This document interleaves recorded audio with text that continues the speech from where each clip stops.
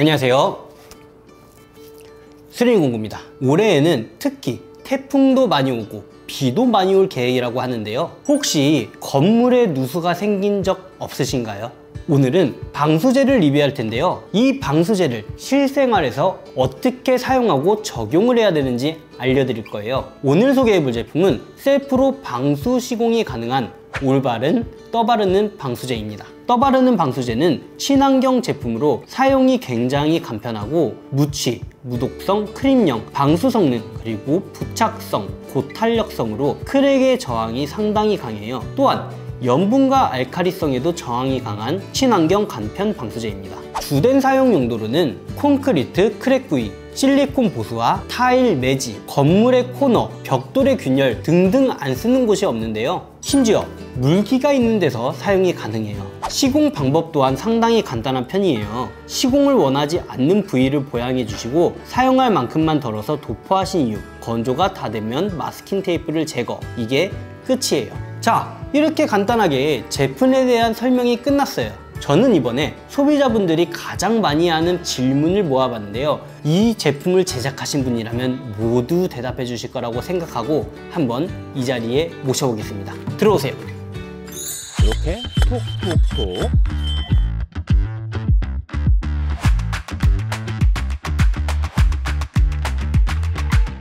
뭐 거두절미하고 바로 제가 준비한 질문을 살짝 던져봐도 될까요? 아 얼마든지 첫 번째로 제품은 분명 백색인데 왜 투명색이라고 했나요? 여기 이 내용에 보시면 투명한 제품이라고 되어 있어요 경화가 돼서 마르면은 투명하게 바뀌기 때문에 미관상 어, 아무 지장 없이 사용 가능한 제품이라고 보시면 됩니다 그걸 해명하기 위해서 소재를 하나 준비했는데요. 지금 보시면 이게 반딱반딱한데 이 크림형 백색을 바르신 거거든요. 보시면 투명이 맞습니다. 두 번째 질문, 변형이 일어난 실리콘 이게 시공을 해도 되나요? 실리콘을 제거하고 하는 것보다 현재 갈라지거나 들뜬 부분 그 부분에 이제 물이 들어온다라고 하면은 그걸 제거하지 말고 그 위에다 덮어하는 게 더 좋아요 아 그래요? 오히려?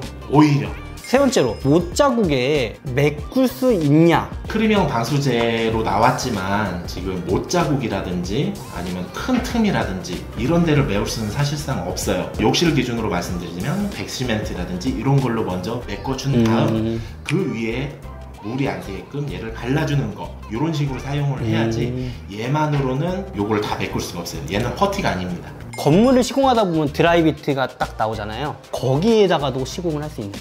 무조건 가능하죠. 이거는 안 되면은 방수제라고 할 수가 없는 거죠. 네, 무조건 가능합니다. 드라이비트, 벽돌, 뭐 돌, 외장의 어느 곳에다 다 사용이 가능한 거예요. 건물 외벽에 크랙이 막 크게 났어요.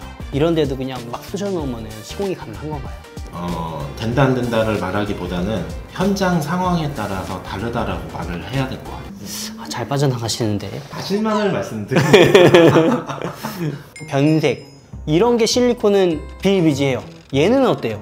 수지 성분을 가지고 함유하고 있는 제품은 변형이 일어날 수 있어요. 음. 노랗게 변한다던가 이렇게 할 수는 있는데 뭐 이만큼 두껍게 막 1cm, 네. 2cm 발- 이렇게 두께로 발라놓으면 눈에 보일 정도로 이게 황변이 되겠죠. 그런데 얘는 그렇게 두껍게 시공하는 제품이 아니다 보니 노랗게 돼도 티가 안 나. 그러니까 티도 안 나는 그런 정도. 자, 다음 질문입니다. 지속 기간이라 그러죠? 그게 뭐라 그러지? 그거 뭐라 그러죠, 전문용어로? 취속 기간. 맞나요?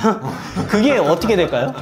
원래 기본적으로 5년을 잡는데 5년이 됐다고 해가지고 뜯어지거나 떨어지거나 이렇지 않아요. 음. 그 이상도 가고 하는데 제일 중요한 거는 시공을 어떻게 했느냐 그게 제일 중요한 거예요 그리고 우리가 아까부터 외벽 위주로 말씀드렸는데 석고보드, 합판 이런 데에도 시공이 가능한가요? 무조건 가능하죠 실내 같은데 매직 쪽, 뭐 갈라지거나 이런 부분에서 자꾸 누수가 발생 물 샌다고 뭐라고 하는 데들 간단하게 이렇게 아. 발라서 방수를 해줄 수 있는 제품이라고 보면 되고요 하지만 타일 위에는 권장하진 않아요 시멘트나 몰탈에 섞어서 쓰고 싶으면 쓸 수가 있을까요?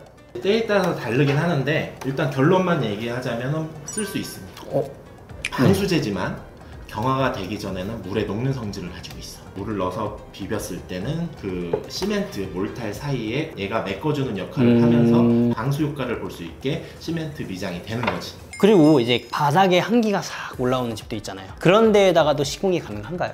아 이것도 되게 어려운 부분이긴 한데요. 습이 차가지고 맺힌다. 네. 이런 곳엔 사용할 수가 있겠지. 밑에서부터 습이 올라오는 거였어. 음. 그런 곳은 솔직히 안 된다. 습이 계속 올라오는 거기 때문에 그거는 다른 방법으로 찾으셔야 돼요. 음. 이것만으로 이걸 발랐다고 해가지고 바닥이 해결되지는 않습니다. 아, 이 제품이 수용성 제품이잖아요. 이 제품을 시공부에 바르고 수용성 페인트를 바르는 건 될 것 같아요. 근데 유성 페인트를 바르는 건 어떻게 되나요? 아, 이게 싹 가능하다고 얘기를 하고 싶은데 싹 가능하다. 그럼 유성 페인트 위에 수성을 발라도 되겠네요. 안 되지. 왜요? 왜 싹풀 가능해요? 여기서 또 이제 성분에 따라서 이제 그 차이점을 말씀을 드려야 되는데 물과 기름 불이 만날 수가 없어. 만났잖아요. 수성이 유성이 된다고. 그러니까 끝까지 들어가. 수성 제품을 먼저 발라놨어. 네. 다 경화가 됐어. 네. 여기에 유성을 올릴 수 있을까? 있다고 했잖아요. 어, 했나?